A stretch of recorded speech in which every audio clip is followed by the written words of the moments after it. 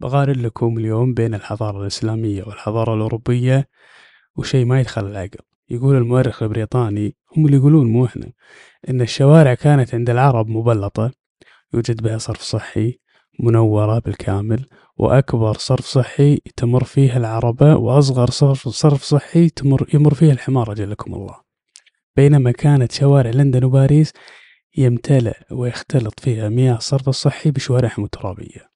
وبعد 600 سنة من الثورة بدأوا يهتمون في شوارعهم. بعد 600 سنة ويقول المؤرخ الفرنسي في غرطبة في مكتبة للحاك للخليفة الحاكم المستنصر فقط في غرطبة نهيا عن بغداد ودمشق ومصر وبلاد الأندلس. فقط في غرطبة مكتبة تحتوي على 600 ألف مجلد. 600 ألف. 44 مجلد فقط فهارس كلها عن الحديث والتفسير والفقه.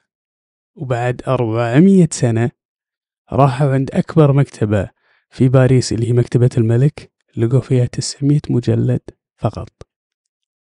600 ألف 900 شوف الرقم. بعطيكم عاد معلومة صادمة. تدرون أن العرب هم أول من بنى المستشفيات وكان اسمها البرمستان.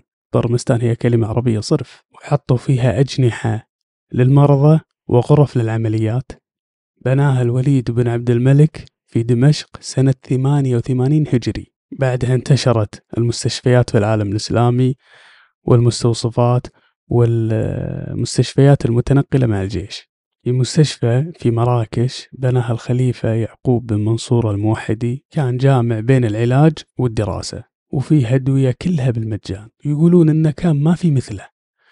في ممر مائي يمر على جميع غرف المرضى وفي ثلاث نوافير يصنعون منها الصيد... الصيدلاني يصنع منها يصنع منها أدويته وفي وأمر فيها ب... بزراعة جميع النباتات العطرية والمشمومة التي تستخدم في العلاج. فرق بين زي الدكتور وزي المريض. وأيضا كان للمريض لبس نهار ولبس ليل. ولبس شتوي ولبس صيفي. والمعلومة الصادمة يقول لك إذا كان فقير ودخل تعالج وخلص نعطيه فلوس عشان يسترزق. وإذا كان غني يدفع. الآن الغني عنده تأمين صحي والفقير يدفع. بينما أنشئت أول مستشفى في أوروبا بأمر من الملك لويس ملك فرنسا سنة 1260 ميلادي.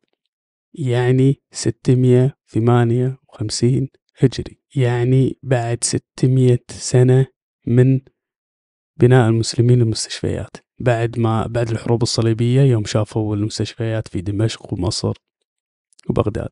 وبعدين عاد خذوا العلوم كلها ونسبوها لهم فيهم اللي اعترف وفيهم اللي ما اعترف. أصلا علم الجبر اللي حل معضلة كبيرة في علم الرياضيات ولولا الخوارزمي لما رانا التكنولوجيا الآن. لأن يسمونها حتى بالخوارزميات. ما في تكنولوجيا في العالم لولا الخوارزمي لولا علم الجبر. شتان ما بين قوة الإسلام في السابق وعلمهم وحضارتهم وثقافتهم والآن. الإرادة الإرادة. وسبحان من مغير الأحوال. والحين تتنافسون بل يتقاتلون على البعثات الخارجية لكسب العلم من الخارج. في الختام صلوا على النبي.